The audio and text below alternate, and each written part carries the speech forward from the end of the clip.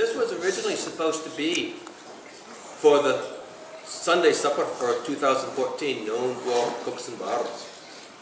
But the mighty hunters failed to catch the elusive haggis, so there was none to address over.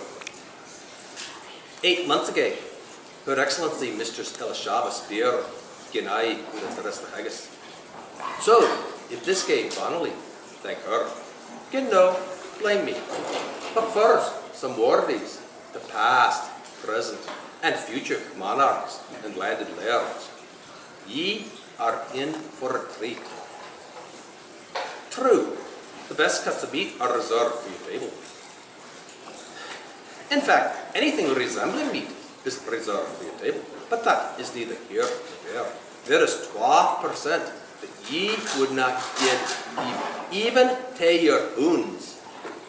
Ye freely, graciously, and generously bestow this bounty on the 98% of the populace who hate no other meat.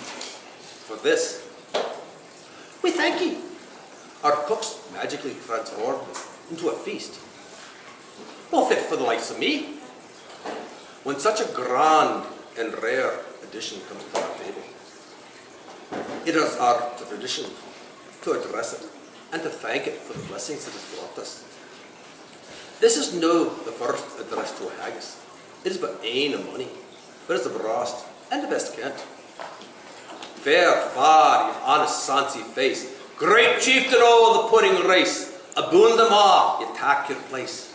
Pinch, tripe with there, wheel you worry, o grace, as long as my arm. The groaning trencher, there you fill, your hardies like a distant hill. Your pin would help to mend the mill in time o' need. Or through your pores the dews distill like amber bead.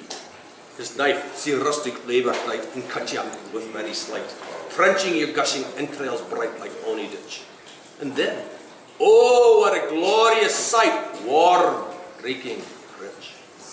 The horn, the horn, they stretch and strive, deal tack to him most on they drive to all the one kites alive are bent like crumbs. The all good man may like the ride be thanked hums. Is there the or his French ragout, or olio that would start a stew, a fricassee that would make her spew with perfect scorner, look stone with snooting scornful view on sick a dinner.